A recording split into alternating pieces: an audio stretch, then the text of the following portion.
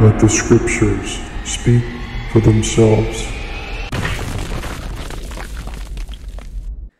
Well, James, is there anything else you can think of? Um, what What would you leave maybe people listening to this? What would you encourage them to do for the average Joe? You know, who's just reading their Bible and they stumble across double brackets or something. What What would you encourage them with um, in this regard?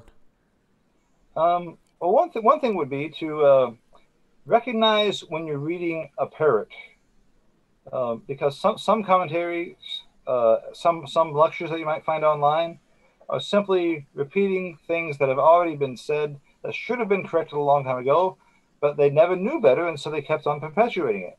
For instance, uh, in, in the earlier editions of the UBS text, it said that some Ethiopic copies stop at Mark 16:8, and even Eugene Nida's translate, translator's guide, that, that claim was per- perpetuated. Hmm. Uh, in 1980, uh, Metzger did a uh, finished a, a detailed study on the Ethiopic text because he had done a double check thinking, do those abbreviations really mean what we think they should mean that we read in the 1800s about Ethiopic copies?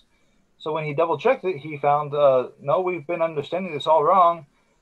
He looked, he went back to the actual Ethiopic evidence and found that every single one of those Ethiopic manuscripts includes Mark 16 to 20.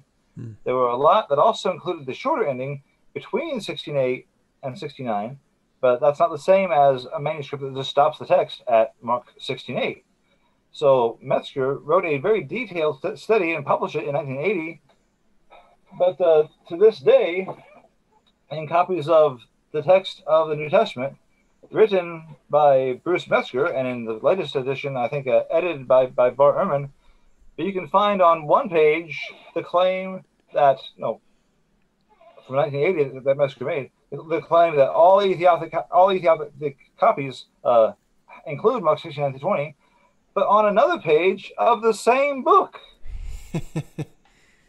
40 years after 1980, Hmm. you will still find the claim that in some Ethiopic copies Mark ends at 68. Uh, so- and That's what's funny. Yeah, Yeah. It, it is kind of funny, but it's also kind of sad. Yeah, funny That- in a pitiful kind of way, right? For the for the groupthink that's in play to to to be jostled into, uh, will you please pay attention? Hmm. So Yeah. so one thing would be to to recognize, uh, like I said, recognize parrots. If you're if you're reading along and, and you're reading something like like like Metzger, where where it says. Uh, the, the, the Armenian and the, the, the Jordan Georgian. We have copies of both that, that don't don't include this passage. Well, keep in mind though, but most people don't realize this, but the old Georgian was translated from the old Armenian. So Mm. having these two is, is like it's, it's, it's, it's like saying not only does the voice say this, but also the echo of the voice, right, as, as if that's going to mean something. right, right. Yeah, So yeah. No, that's good. I, I think watching out for parrots is is a, a good piece of advice. Um, not only um, with you know things people may agree with or things they may disagree with. Um, not only with modern commentators, also even with church fathers and stuff like that. You know, yeah, that's that's a good piece of advice. Yeah, Yep. no doubt. So